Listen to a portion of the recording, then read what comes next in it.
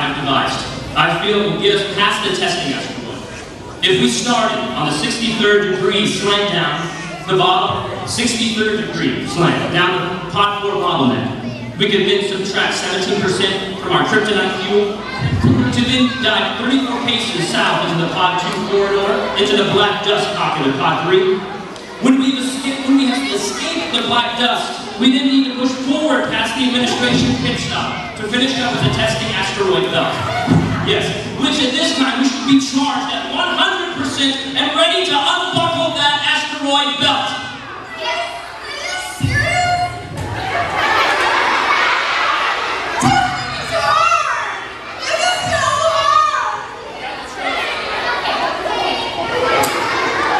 It's okay. It'll be. Fine. I know space is hard. We all know that. But we can get through it. We can get through it. It's going to be hard, but we have to have a good attitude and not give up when we're challenged and stressed or confused. You need to have a can-do attitude and always know that you have the tools to complete any task that is put in front of you. Oh yes, here are some of our crew members from our airship library to cheer you up.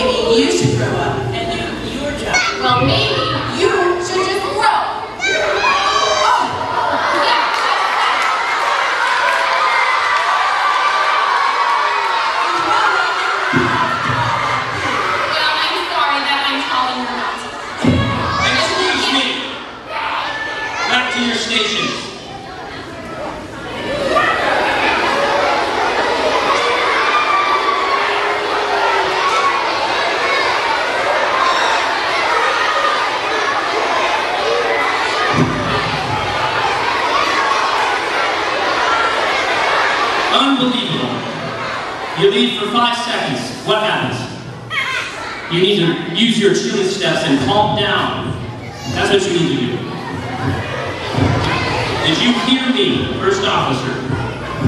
Okay.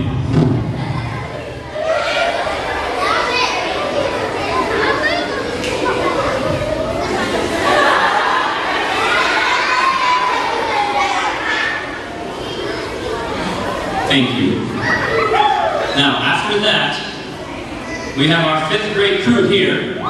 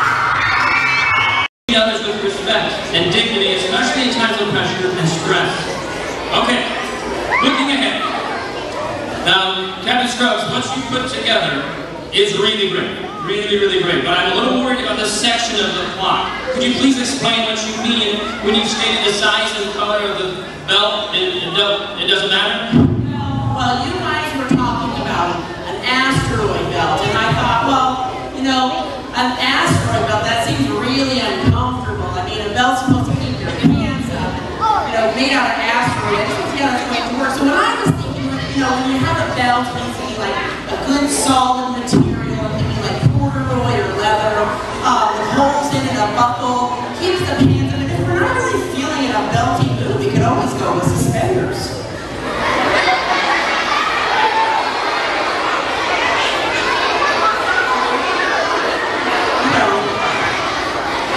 Uh,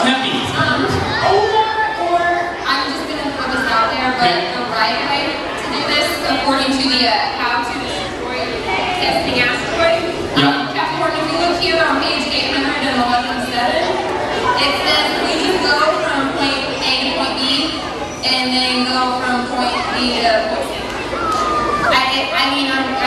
wrong, but it's right. So, right? But it's, it's good. It's right. Kathy, great work. Thank you. Great work. Okay, Scruggs, uh, now you can explain your method extremely well and with confidence. I'm very proud of you. But Kepi's idea will work because obviously it is well-cited in that uh, how to destroy a testing asteroid.